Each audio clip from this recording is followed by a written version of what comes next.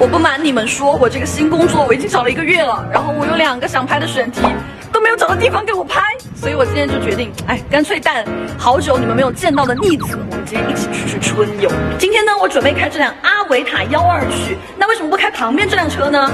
因为这辆车又不是我的，我怎么开？开玩笑了啊！那我们感谢阿维塔幺二的赞助，美羊羊，走，我们出发。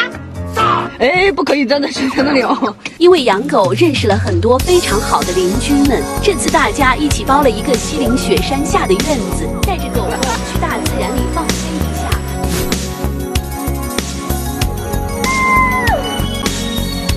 应该有很多粉丝都知道我这个逆子美羊羊是怎么来的吧？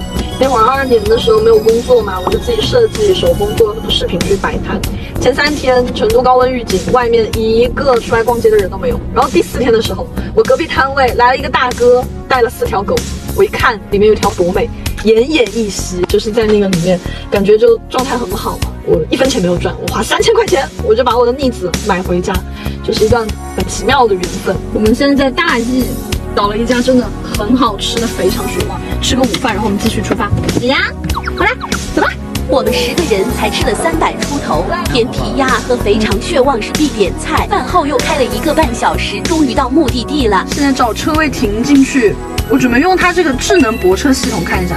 先选一个车位，这个开始泊入，泊车已启动，开始泊车，注意环境安全。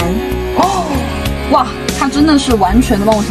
很神奇，因为我以为是要那种停车场非常规整的车位，它才比较好识别。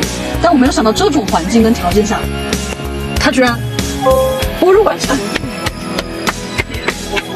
太实用了！这功能太实用了，真的。到了我们的院子，这个是我们院子的一个客厅，晚上可以在这里烤火聊天。这里有一个休息区域，像咖啡厅一样的二楼。哟喂，这是我的房间。哎呦，我下来，下去，下去。放好行李以后，开始分工劳动。这边是穿烧烤的，这边在洗水果，这边是生火的。你手上拿的东西我好眼熟啊！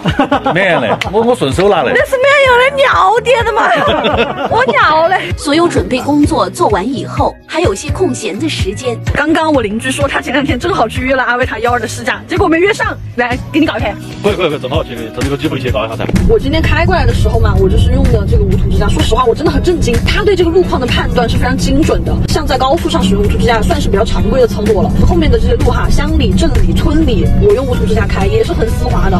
刚刚开始用无图支架，就是遇上一个大弯路。哇，稳！哎，前头有个牌牌，我看一下哪个。前面有一个牌。现在绕行。我开大了灯。过了，过了，过了，过了。哦，过来结束。过了，过了，过了，就结束了。好爽哦！想拥有。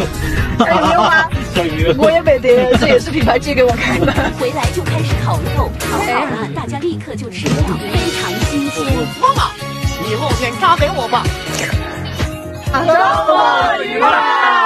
吃饱喝足，开始乡野 KTV。一直就在我身旁。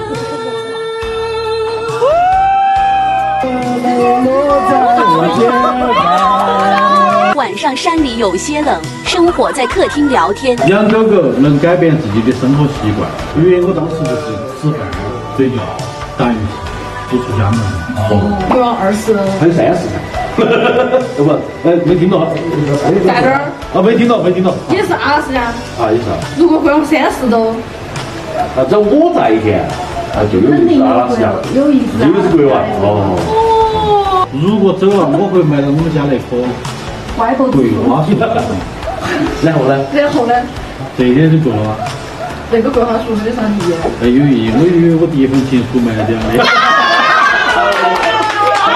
我们我们中年人还能熬到这个点，确实辛苦。每天都要给美羊羊洗脚吹干，每天都要梳毛，不然容易打结。睡觉了，晚安大家。